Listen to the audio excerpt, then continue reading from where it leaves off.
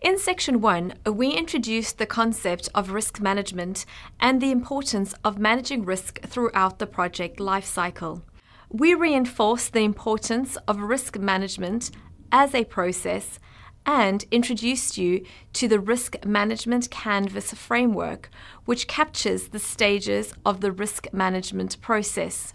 This week, we will discuss the process of identifying risks associated with your project. The concept of risk identification may seem quite easy and straightforward. However, if this is rushed and a process is not followed in identifying risks for your project, it can contribute to lost opportunities or failure of the process as a whole. So, what do we mean when we say that you need to identify risks for your project? Risk identification goes beyond pinpointing a few key risks that may occur in your project. Rather, it is a systematic and detailed approach to ensuring that as many risks as possible are identified with the collaboration of stakeholders to ensure that they can be analysed and responded to appropriately. Identifying risk is an organised approach that will help you consider the potential risks of your project. When identifying risk, you need to be thorough, which requires you to provide a clear and in depth description of the potential risk and how it might impact on the project.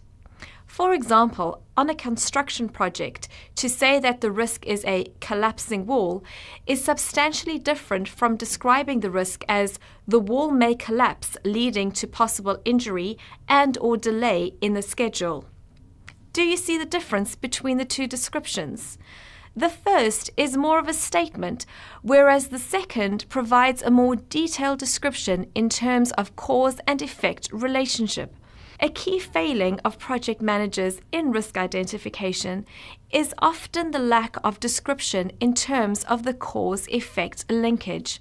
It is often recorded in a schedule of risks as a cost as opposed to potential occurrence of an event and the consequences of that risk. Let us now determine how we go about identifying the risk. Risks need to be identified in the early phases of the project before the project concept has been finalized. In the early phases, it is important that you not only identify all of the potential risks, but the sources of the risks as well. Let's take our building construction example. A potential risk is that the building plans have not been approved, and this will delay the commencement of the project. The source of the risk would likely be the architects, as it is their responsibility to ensure that plans are submitted and approved by the necessary authorities prior to construction commencing. So, where do we get information regarding the potential risks of a project?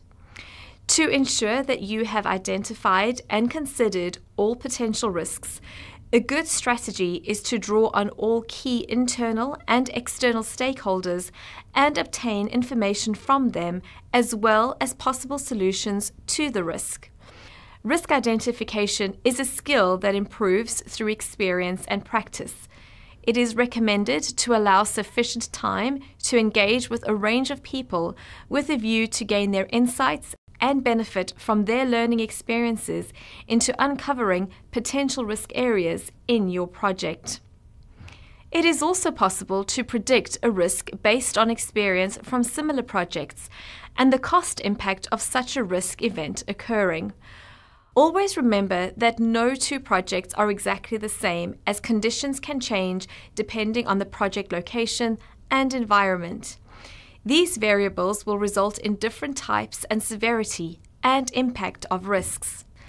Also, bear in mind that risks aren't always immediately apparent, and therefore, risk identification is a continuous monitoring activity, and a review of risks should take place throughout all stages of the project lifecycle.